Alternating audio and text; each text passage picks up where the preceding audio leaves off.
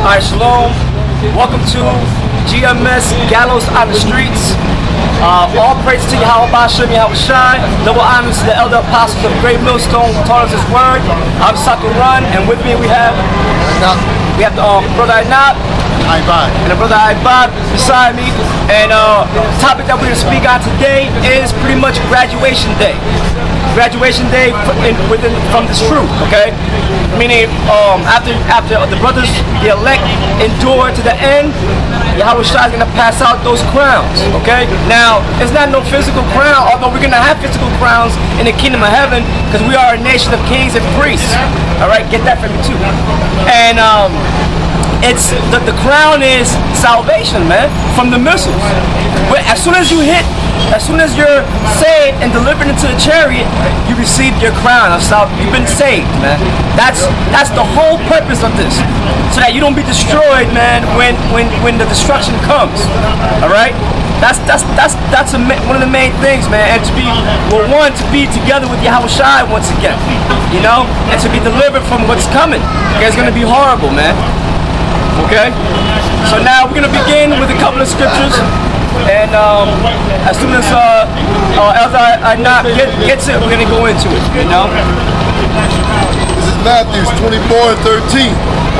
But he that shall endure unto the end, the same shall be saved. Yeah, so um, brothers, are, y'all, y'all heard this scripture, y'all read the scripture time and time again. But do you know the seriousness of that scripture, man? Endure. Can you can you somehow look up the definition of the word endure? We know we we know what the word endure means, right? To make hard.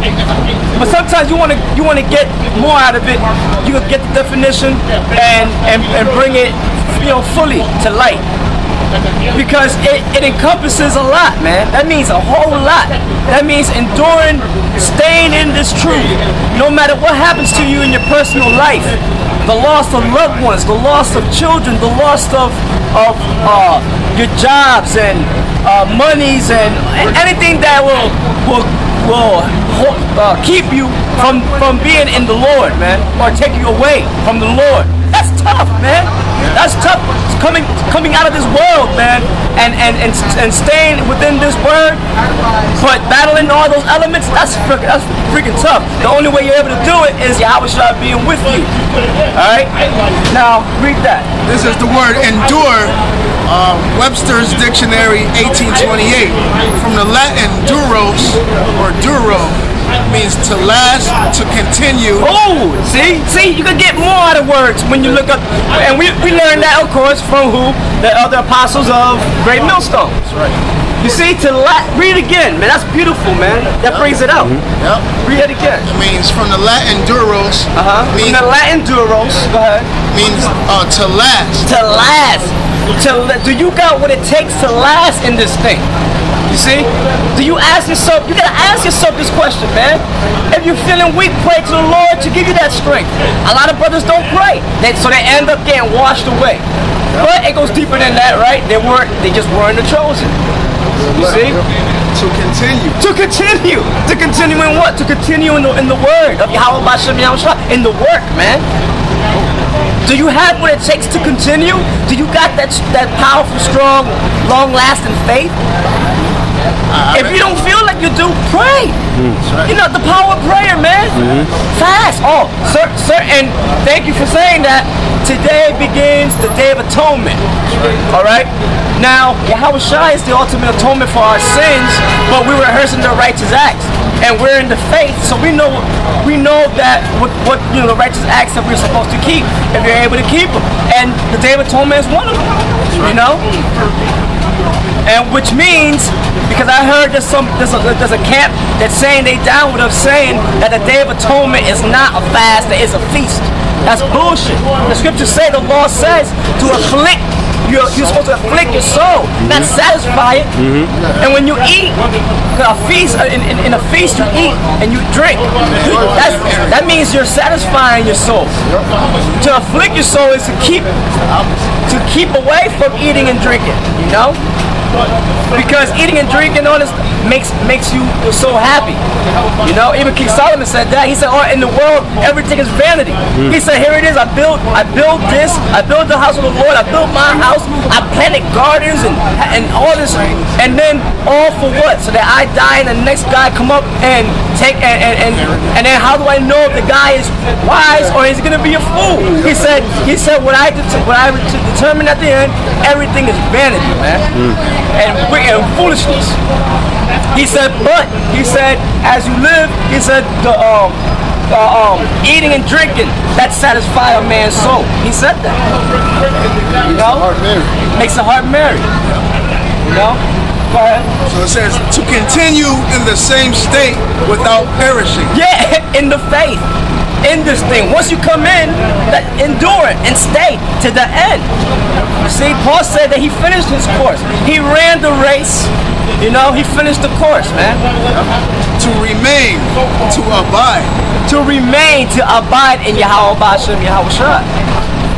So read it again, Matthew 24 Matthew 24 13. But he that shall endure unto the end, the same shall be saved. Yeah, so we, we are to endure in this thing to the end. Why? Like I said, the topic of this show is graduation day. So you can receive your crown. And you finally made it, man. You see? But until then, you gotta keep Yahweh Shai didn't come yet. You see? So you gotta keep going, man. You can't give up. You gotta keep going, man. Stay strong. Stay in this. Go ahead. Okay, what we got? Get um, get First Timothy's. Uh, uh, what was that? Four and seven? Oh, you had something? Yeah, if I got if I got scriptures, don't be afraid to bring them out. I got one. Here we go.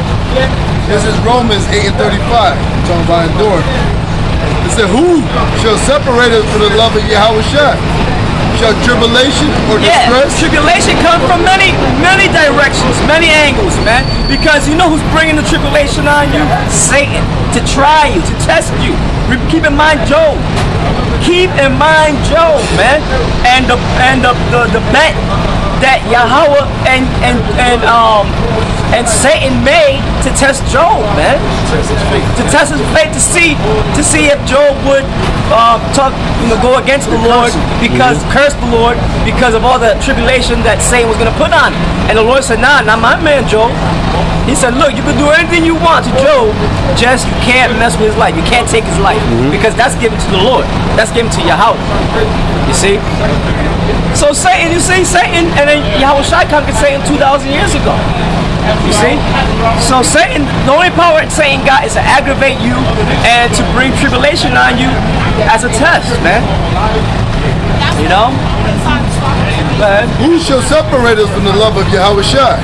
Shall tribulation Right, and that's the reason I wanted to say this. Tribulation comes from many angles. Tribulation could come from shit. Tribulation could mainly you.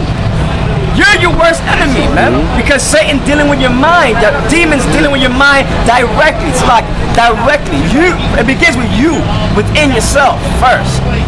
Then the people around you who are negative, man, that are in the world, they have no faith. Your family, your mother, your father, your sister, your brother, your sons, your daughters. All right. Um, your jobs, a cracker at the job, talking, constantly talking shit, trying you, testing you. See, having no money, having or having too much money. How about that? Having too much money and then you, you did the, you do the wrong thing, you fall away. You know.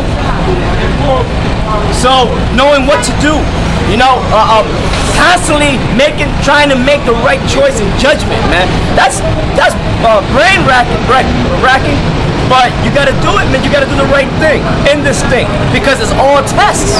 Having no money, having too much money, having having too much of this, having too little of that. It's all a big test, man.